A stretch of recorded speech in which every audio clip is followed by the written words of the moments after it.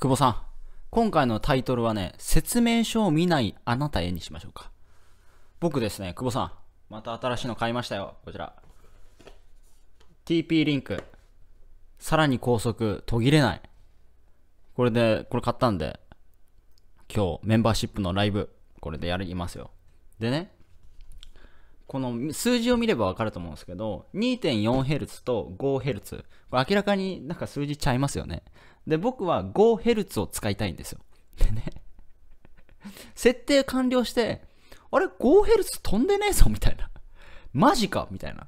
え、なんで受信できないの ?5Hz みたいな。いや、俺はこっちを使いたいねみたいな。で、で、ルーターも再起動して、パソコンも再起動して、いろいろやったんですよ。だけど、あれ？受信できないんですよね。で、スマホでも見ても受信できなくて、あれ？何なんだ？みたいな。で、よくよく また設定の方に戻って、ちょっと説明書を見出したんですよ。で、説明書見たときに、この Wi-Fi の設定のところで、その、えー、各バンドの SSID を個別に設定する場合は、スマートコネクトのチェックを外し、各バンドの別々に設定チェックをして入れてくださいと。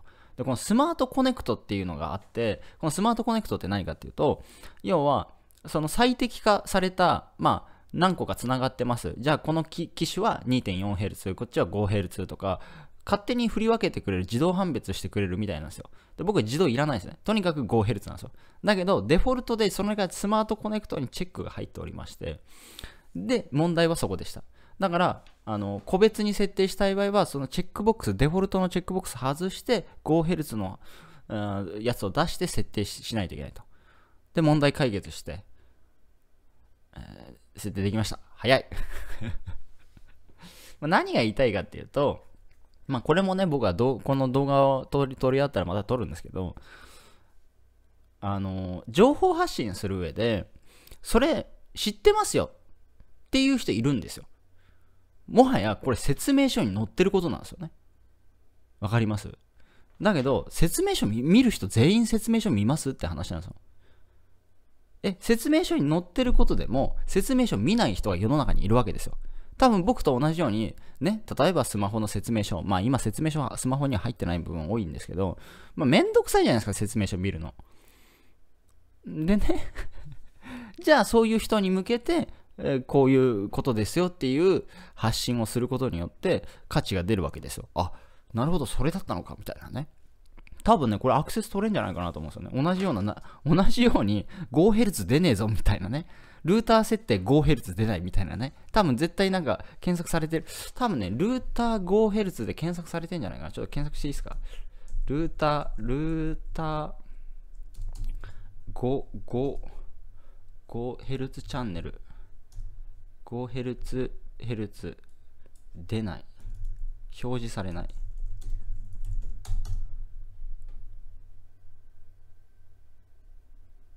あー、違いだね。うん、なるほど、なるほど。なるほど。違いは動画いっぱいあるな。5Hz 受信できないとかかな。まあ、ちょっとこれ SEO 調べてみますけど。できない。あこの 5Hz の無線 LAN の不安定な場合の対処法っていうのが1年前で出てる人がいて、これ2万回回してますね。うん。5Hz と 2.4Hz の違い、これを説明しますっていうのは結構いっぱいみんな動画撮られてますね。あ、でも Wi-Fi が繋がらない。この後に説明できませんと。停止。なるほどね。Wi-Fi に繋がらない。5Hz 繋がらないか。5Hz 繋がらないとかで検索かな。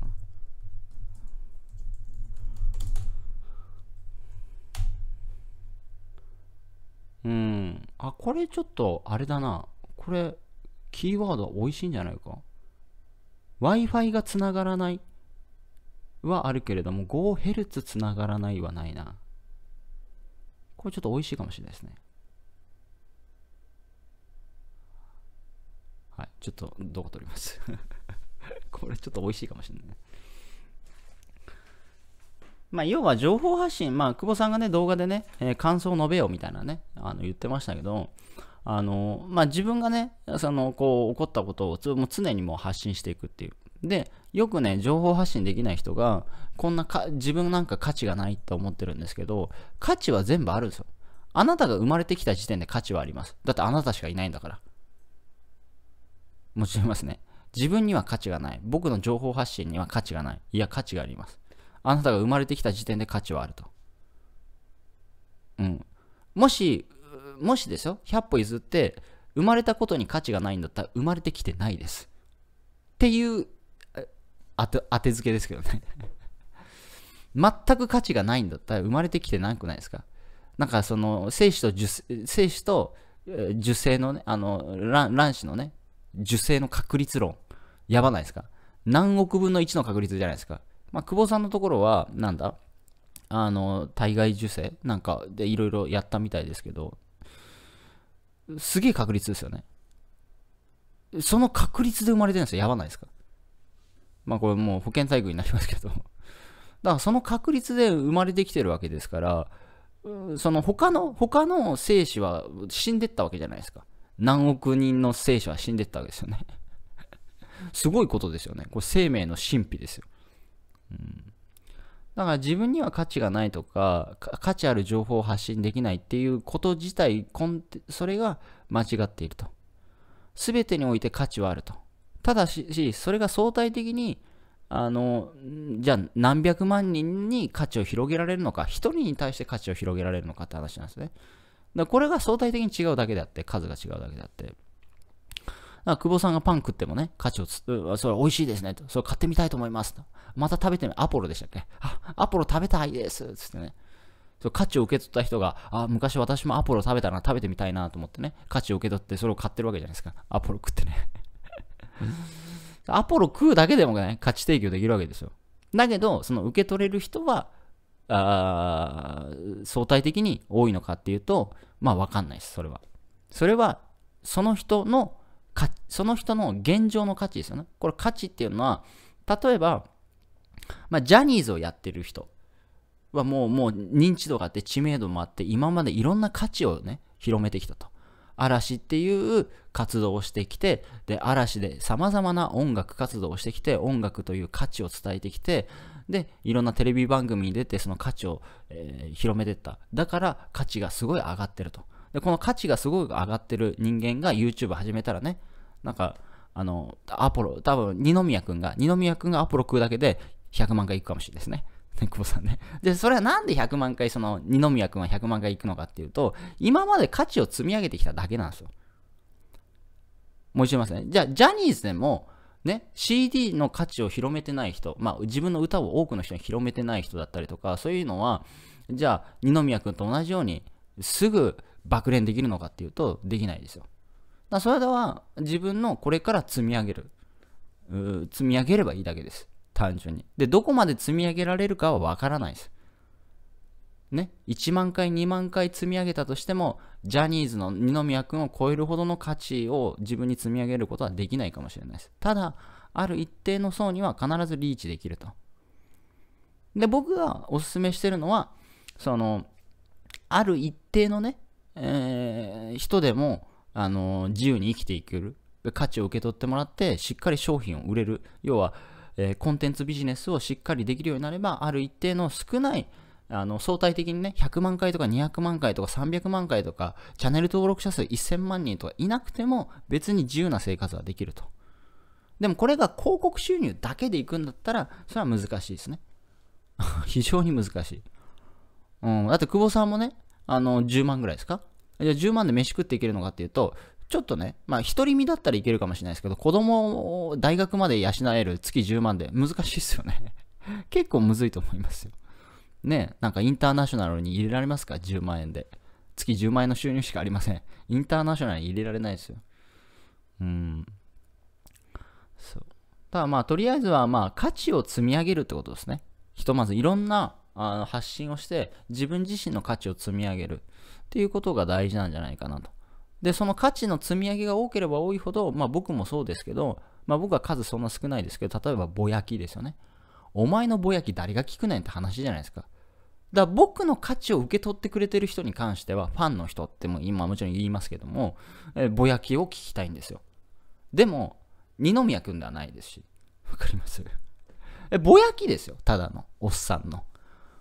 それでも聞きたい人がいるわけですよ。ぼやきが。ぼやきの方が逆にいいですみたいなね。それは僕っていう人間の価値を受け取ってくれてる。僕っていう価値が好きっていう人。わかります？でもそれは積み上げてるからですよ。発信していなければ僕という人間はネット上に存在しないので。もうしてますね。僕が発信しなければ僕という人間はネット上にいないです。でも、あの、それ発信することによって、多くの人に、多くの人にね、こう、リーチできる可能性はあるわけですよ。で、自分っていう、ね、あの、久保哲郎と、速化塾の久保哲郎みたいなね、あ、速化塾、うん、っていう名前もね、知ってもらったりとかね。だけどこれね、麻雀店で久保さんがね、速化塾やってますって言っても、リーチできるの限界ですよ。ね。北海道の人がね、久保さんの麻雀店までまあまあ来ないですよ。うん、多分半径何キロだと思うんですよね。わざわざね、3時間うちにね、北海道からわざわざ来るみたいなね。難しいっすよね。毎週来るとかね。どんな麻雀店やねんってすげえなみたいな話で。まあまあなくないですか。うん。まあいろいろ申し上げましたけど、あのー、価値は誰でも積み上げることはできます。だけど、相対的にそれが多くの人に広まるか広まらないかわからないです。ただし、まあ、しっかりとコンテンツビジネスをやれば少ない数でも自由に生きていける、ことは可能です。再生数100でも月収100万、月収200万、月収300万。まあ、先月僕は月収300万いきましたけど、300万ぐらい売り上げですかね。売上月賞ですか？売上300万はいきましたけども、可能です。で、借金2000万も返しましたし、親に300万の BMW も買いましたけども、それも可能です。まあ、時間はちょっとかかりましたけどね。まあ、鹿児島に来て4年ですよ、もう。もはや。もう4年ぐらいかかりましたね。4年かかりました。まあまあかかりましたね。まあ数少ないのもあるんで。まあでもその、借金返しながらも自由にやってましたから、まあ内面はしんどい部分はありましたけどね。だけど、あのー、なんとかできました。うん。でもそれはまあ、積み上げてるからですね、単純に。うん。だから何もしないことは本当にいいのかっていうとこですね。まあ、久保さんが、ね、や、なんか多くの人はね、やることに対してこれ意味あんのかとか意味ないのかとかね、稼げるのか稼げないのかとか言ってるんですけど、久保さんが言う通り、そもそも論として、あの、やらないっていうことに、じゃあ意味はあるのかっていう、そこはね、多分つかないですよね、みんな。で、やらないのになんかふえふま言う？いや、それはちょっと待てよと。やらないけど不平不満言うってどういうこと？みたいな。それはちょっとおかしくない？っていう。やらないけど不平不満言うっていう。まずやってみようぜと。やれる環境もあるし。100歩譲ってやれない環境だったらあれですよ、戦後。ね、広島は原発落ちましたけど、じゃあ原発起きた時に、落ちた時にね、それはできないものいっぱいあったでしょ何もないんだから。今スマホ、だから YouTube 見てる時点でね、もうデバイスあるでしょネット回線あるでしょみたいな話で。だから、それでもなんか環境がないとか言ってるんだったら、それは甘えでしかないと思いますよ。100歩譲って戦後で核爆弾を落としてな落とされて何もない状況でで言うならま100歩譲ってあれですけど、まあ、それでもね、何もない状況でも商売やってるたわけじゃないですか。ね。そのなんかあの、な、な、な、何やかは、ちょっと名前忘れましたけど、敵やじゃないな。なんかその、闇、闇や、わかんないですけど、なんかそういう、なんか売ってね、商売で飯食ってた人もいるですし、何もないけども、何もないところは作って商売してきたわけですから。うん。だから今はもうやれる環境はもう思う存分あります。でね、これこんなね、僕がネットビジネス始めた15年前ですよ。僕がネットビジネスを始めた15年前、こんな速度出ないですよ。まあ、こんな速度ない まあ、はっきり言ってやばいっすよ、今。こんな速度15年前に全くないですからね。YouTube もなくて YouTube 出た時はし、あの、うまく再生されなかったですからね。本当に YouTube 昔出てた時は、ね、回線速度遅かったんで、一時停止して白ラインを止めないと見れなかったんですよ。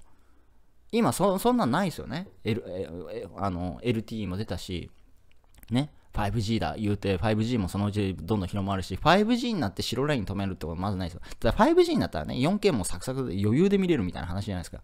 まあスマホで 4K 見れるかどうかは今後もまた変わってくると思いますけど、